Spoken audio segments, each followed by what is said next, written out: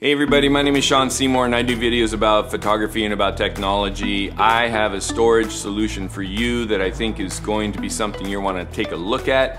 It is an external SSD drive that is running blazingly fast. It's very compact, it's well made, it travels really well, it takes abuse really well, and it has a lot of storage capacity. I think that anybody that is doing photography and video should take a really strong look at this. It's a Acasis SSD enclosure. It's designed for a PCIe type SSD drive. This has 40 gigabyte transfer speed, so we're talking about Thunderbolt 3 and 4. We're talking about USB 4, 3.2, 3.1, and all backwards compatible as long as you're using a USB-C type connection. It is Mac and Windows friendly, and it is M1 and M2 chip friendly. So the new chips that Apple put out works just fine with this. I'm running an M2 on my Mac Mini, and it works great.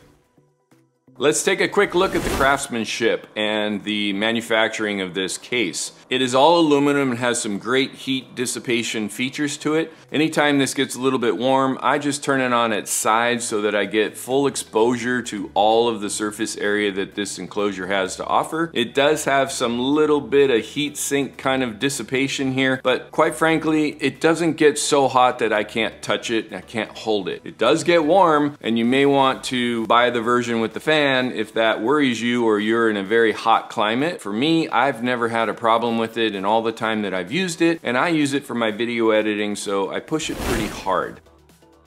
If I haven't mentioned it, the part number for this is TBU405. You can find that in the description below. It's $139.99 on Amazon right now, and the internal fan-cooled version, which they just released, is the TBU 405 Pro, and that has an internal fan that will help a little bit with the heat dissipation. I chose the SK Hynix Platinum P41 SSD to put inside. That's a PCIe, which is just the format of the SSD. And this thing is running at over 7,000 megabytes per second.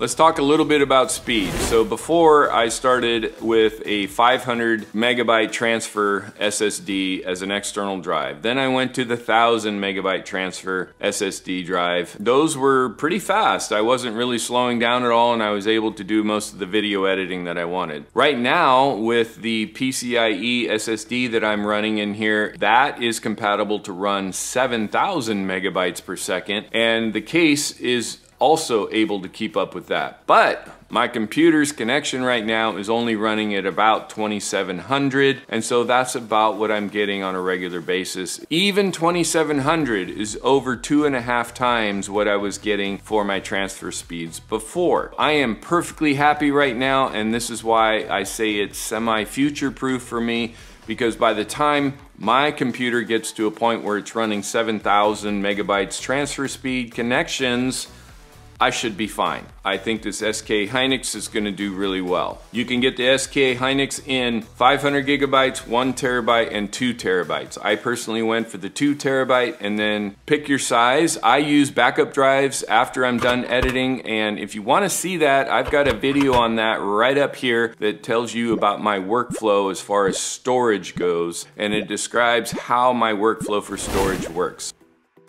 How do you install this thing? It's got four machine screws in the corners. You unscrew those machine screws, open up the back case. You're going to open up your SSD drive. Then you're going to put that in there, snap it in place. The SSD drive is held down by another screw, which I really like. Then you're gonna put the heatsink tape on top of the SSD, and then you're going to put the back case back on and screw down the screws. That's it. Plug in your Thunderbolt 4 or USB 4 compatible cable and plug that into your computer or into your USB-C hub and you are ready to go after you format the drive and your computer sees it. So for me, there really is no deal killer in this setup. This is perfect for me.